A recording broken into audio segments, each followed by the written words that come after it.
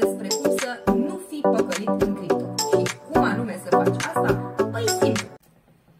Bună dimineața și bine ați revenit pe canalul nostru Cripto Practic pe înțelesul tuturor. Eu sunt Janina. Iar eu sunt Bogdan Enache și vă spun bună dimineața celor vechi. Desigur, bine ați venit celor ce sunt pentru prima dată pe acest canal. Pentru noi, ce facem aici este să venim cu răspunsuri structurate, bine documentate, concret pentru tot omul cu ce ține de Bitcoin, blockchain și pentru a fi la curent cu tot ce privește banii noștri și ai voștri. A fi informat înseamnă a fi un om câștigat. Așa este. Azi vorbim despre cum să nu fii păcălit în cripto. Și cum anume să faci asta? Păi simplu, te informezi structurat și clar ce înseamnă fiecare noțiune legată de acest subiect, Bitcoin, blockchain și criptomonede. Așa că ce am făcut noi uh, a fost să uh, punem într-un top cele mai importante cuvinte și expresii, o terminologie în domeniul criptomonedelor de care ai cu siguranță nevoie, noțiuni pe care să le înțelegi ca să nu fii păcălit pe banii tăi. Iată dintre cele mai întâlnite noțiuni. Asset un activ, un bun, o resursă pe care o ai la dispoziție și care are o valoare economică ce poate fi măsurată. Argint, casă, bitcoin, aur, ether, acțiuni la companii. Mai poate fi un activ care îți produce, precum o casă sau o mașină oferită spre închiriere, acțiuni la companii care dau dividende. Next. Blockchain. În traducere liberă ar fi un lanț de blocuri sau calupuri de informații. Ce sunt blocurile? Pachete de informații, toate de aceeași mărime, ca un bloc notes. Am putea exemplifica cu un top de hârtie. În primul bloc, numărul 1, scriem toate tranzacțiile din ziua 1 sau din ora 1, depinde cum este organizat blockchain-ul de la bun început. În blocul numărul 2, copiem toate tranzacțiile din blocul 1 și scriem apoi toate tranzacțiile din ziua 2. După care îl fixăm în rețea.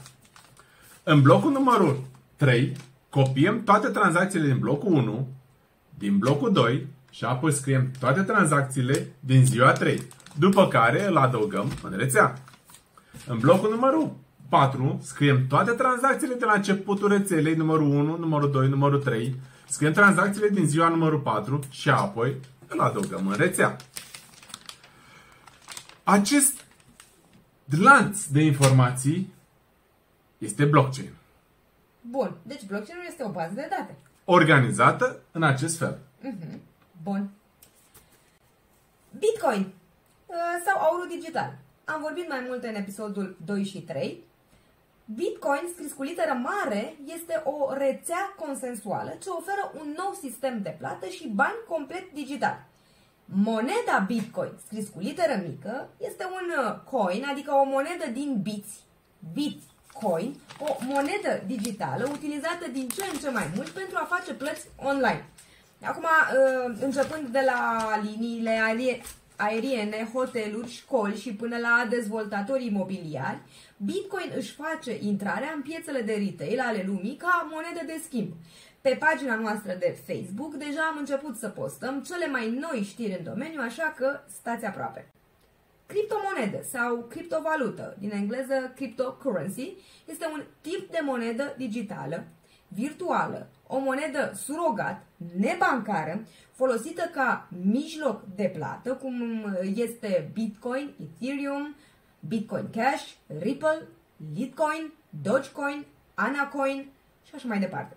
Denumirea de criptomonedă uh, indică faptul că acest mijloc de plată utilizează criptografia și este descentralizat pentru a controla tranzacțiile și a preveni dubla cheltuială, care este o problemă curentă pentru valutele digitale. Acum, ce e criptografia?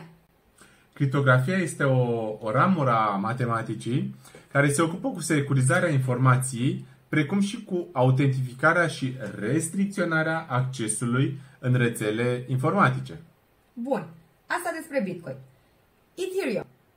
În timp ce Bitcoin se concentrează pe transferul și stocarea digitală a valorii, similar monedei fiduciare și aurului, Ethereum este ca un protocol mai dinamic, cu o gamă mai largă de aplicații practice. Ether care este moneda de pe platforma Ethereum, este de asemenea foarte diferit de Bitcoin. Cum? Păi, uh, în loc să fie folosit ca o monedă normală, Ether este cumpărat și vândut de către companii, guverne sau persoane fizice pentru a le permite să utilizeze resurse uh, distribuite ale rețelei Ethereum și a-și rula propriile aplicații. Următoarele noțiuni. E-Gold și Elrond. Păi, E-Gold este tot o monedă digitală a celor de la compania Elrond și este românească. Fiat, nu mașina, ci banii fiat, reprezintă o monedă emisă de guvern care nu este susținută de o marfă fizică, cum ar fi aur sau argintul, ci mai degrabă de guvernul care a emis-o. Concret, dacă ai conturi în lei, banii fiat sunt uh, roni. Ok. Exchange. Toată lumea știe ce este un exchange, o casă de schimb valutar.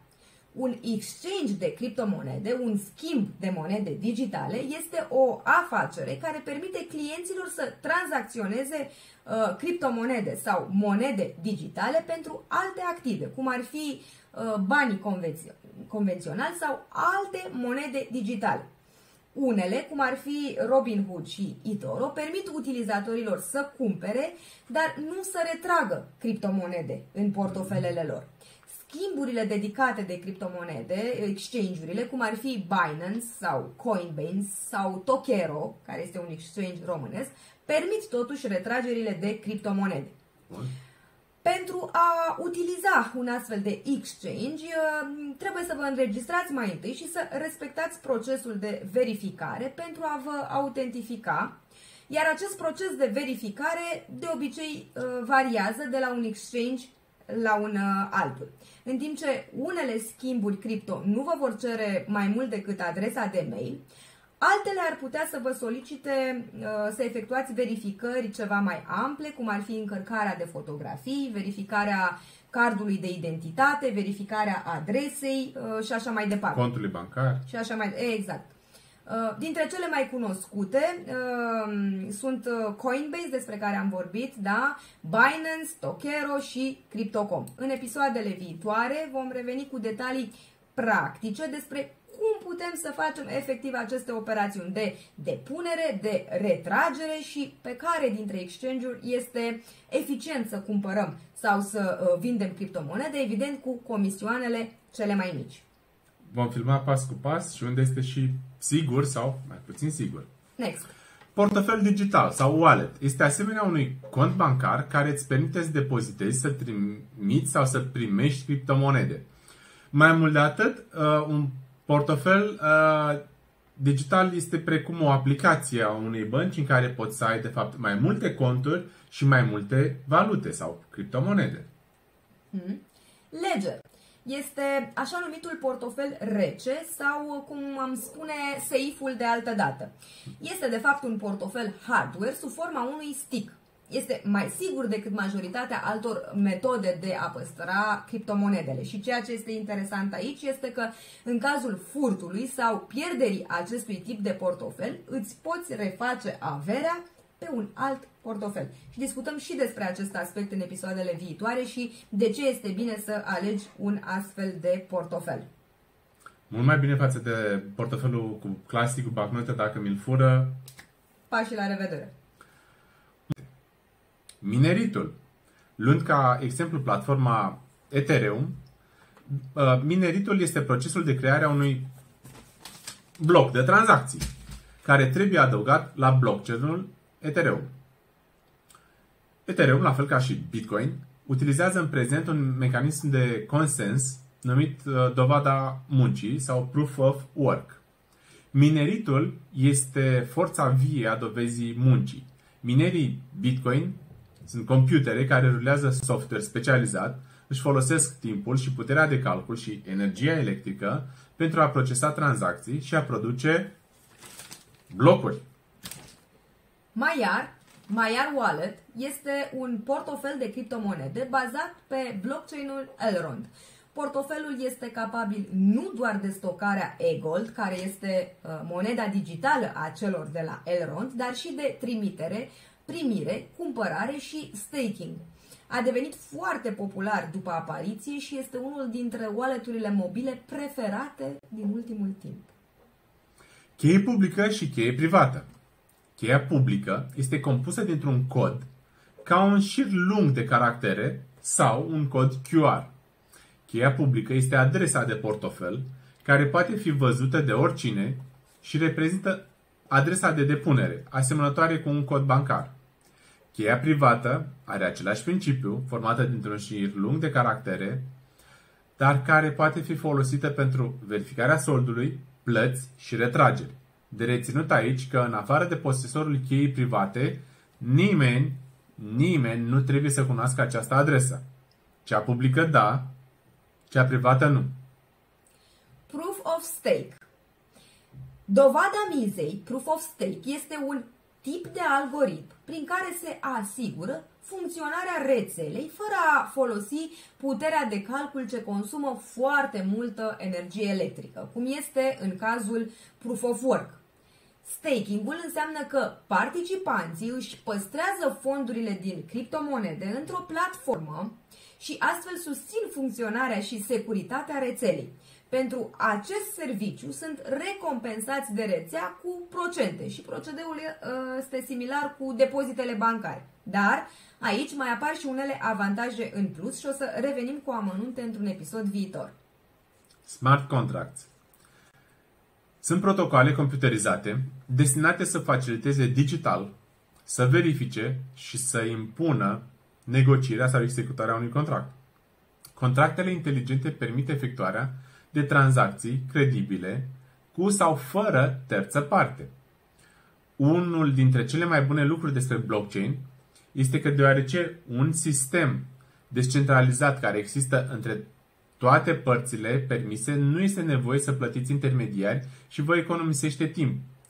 Spre deosebire, dacă stabilești cu o firmă să ca pagina ta de Facebook să ajungă la 10.000 de followers și pentru asta să-i plătești 10 bitcoin, acest lucru, aceste plăți se vor face automat atunci când pagina ta va ajunge la 10.000. Dacă ați mai stabilit un pas intermediar, ca atunci când ajunge la 5.000 de followers să, să, să plătești 5 bitcoin, acest proces se va executa automat.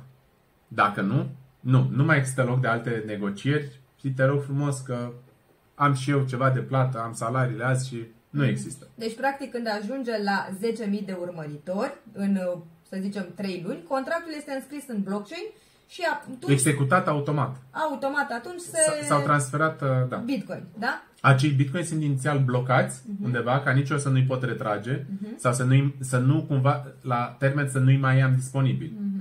Iar când tu ai executat contractul, ți-ai îndeplinit obligațiile, smart contractul, acest smart contract este un program, un software ți-a făcut imediat plata.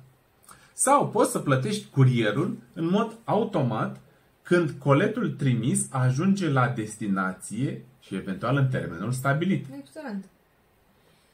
Coinuri sunt criptomonedele construite pe propriul blockchain, așa cum este Bitcoin.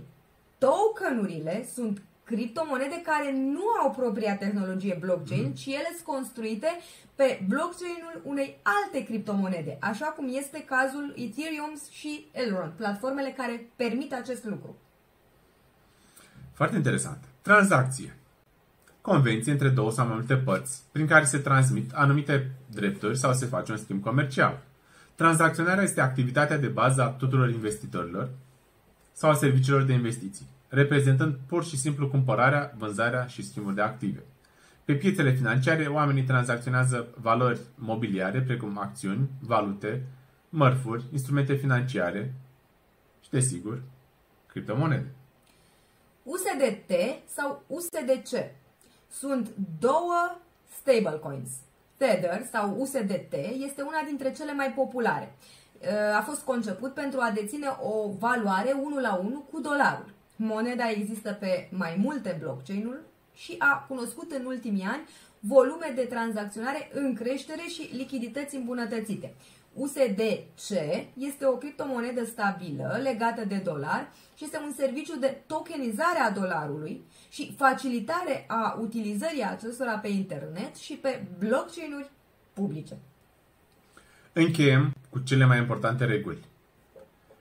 Investește cel mult ce îți permiți să pierzi. Niciodată banii de rezervă, niciodată banii de siguranță, de chirie, de mâncare, banii pentru ratele la casă sau la mașină.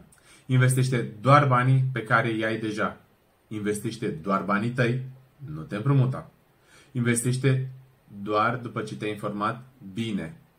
Așa că, dragilor, stați în continuare cu noi, pentru că ceea ce facem aici este să structurăm clar informația pentru ca ea să ajungă la cât mai mulți dintre oameni.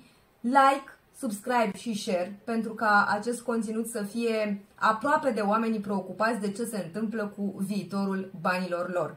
Și pentru mai multe materiale informative, mai ample și mai detaliate, puteți comanda cu reducerea de 10% folosind codul ENA Bogdan pe site-ul iBlock.ro. Vă mulțumim și pe data viitoare! Bye!